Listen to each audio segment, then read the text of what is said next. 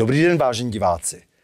Maďarský národní úřad pro bezpečnost potravin zjistil, že z Ukrajiny je dováženo obilí kontaminované toxiny a geneticky modifikovanými organismy, eh, takzvanými GMO.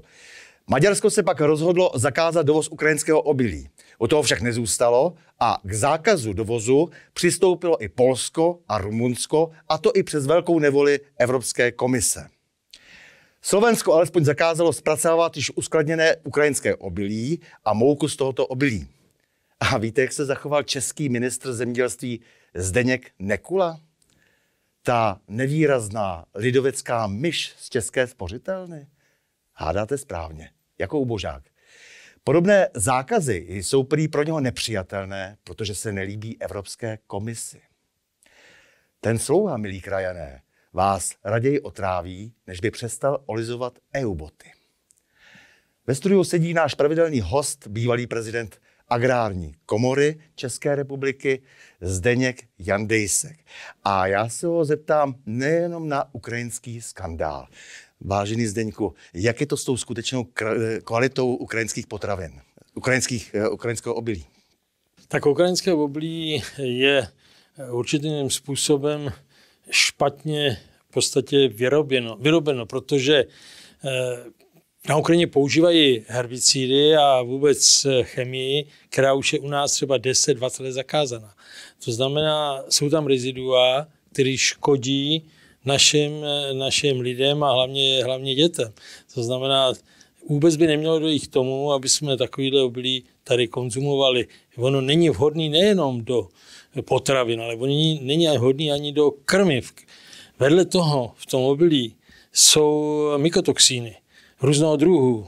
Takže to jsou plísně, které nejsou zase vhodné ani pro samozřejmě lidskou, lidskou konzumaci, ale nejsou vhodné ani pro krmiva, pro, pro zvířata, pro monogastry, hlavně drůbež. Takže eh, my jsme měli být velice opatrný a pokud by naše vláda fungovala normálně, tak ví, že to stát, který není v Unii a ne dodržuje vlastně to, co máme my tady nastínění řadu let tady dáváme dohromady, to by měl každý dovoz měl být kontrolován a buď se vpustí nebo nevpustí.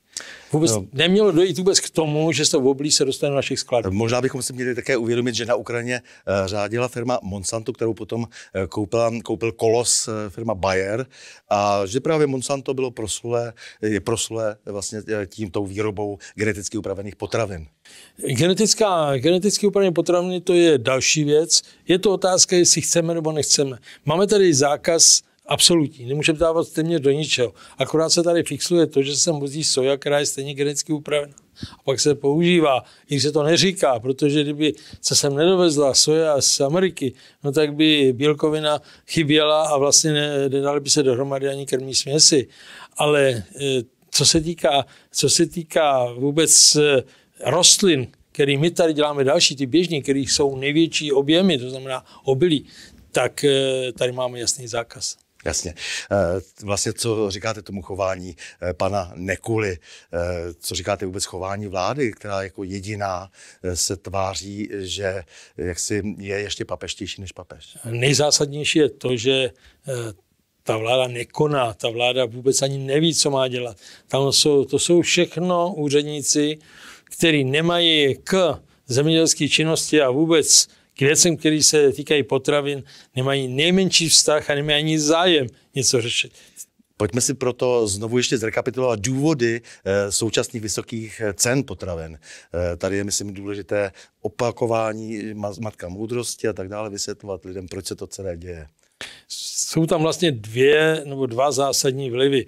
První je cena energií.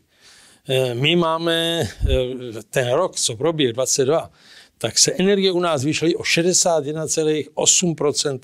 Kdežto Polsko 3,4%, Německo 2,5%, Maďarsko 0,9%, Rakousko 1,6% a Slovensko 7,7%. My 60,8%. Jak, jak my můžeme mít potraviny e, stejný a nebo levnější? No a druhý faktor je obrovský ten, že malou obchod u nás se nechová tak, jak se chová vlastně v zemích, myslím tím v zemích staré Evropy, tak ty 15 bývalý, dneska 14, tak ty mají úplně, ty mají úplně, úplně jiný, jiný vlastně jinou výši, jak tyto energie, tak mají úplně jinou výši dotací. A jestliže, jestliže my eh, vlastně máme úplně jiné podmínky a k tomu vlastně, k tomu vlastně se dostává i problémy s,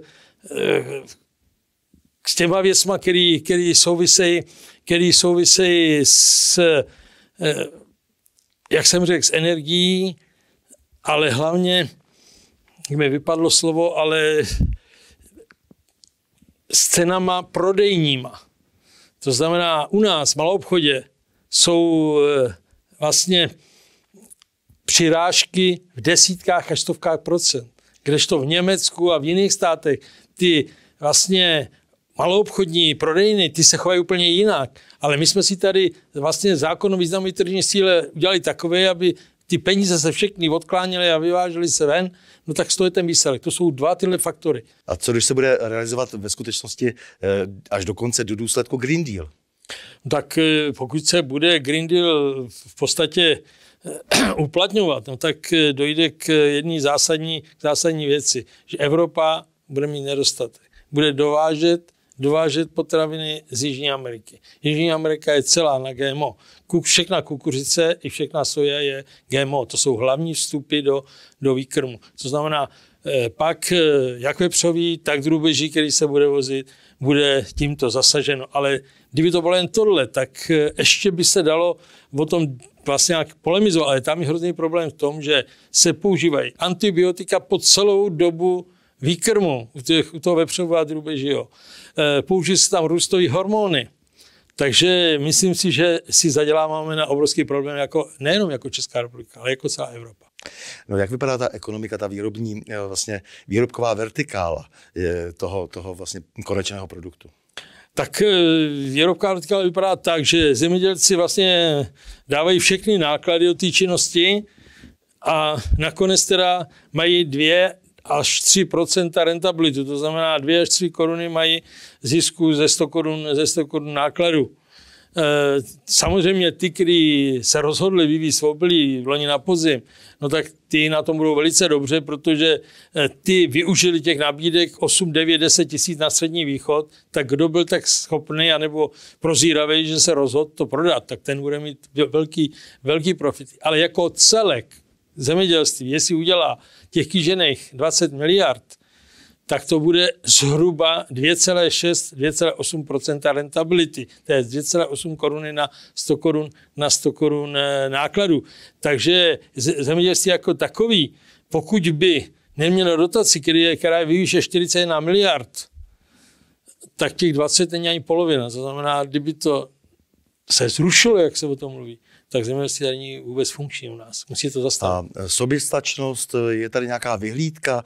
Eh, můžeme se těšit třeba na nějaké sebezáchovné opatření, abychom byli soběstační, alespoň v těch potravinách, které kdysi eh, vyjmenovala eh, vlastně agrární komora. Těch 10-15 plodin nějakých, které by se tady měly pěstovat, abychom byli alespoň soběstační v tom sortimentu, který je možný vzhledem ke klimatickým podmínkám České republiky a půdním možnostem.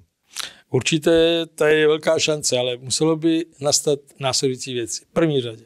Energie, plyn by se musel dostat na úroveň, který byly před, před rokem nebo před začátkem roku 2022.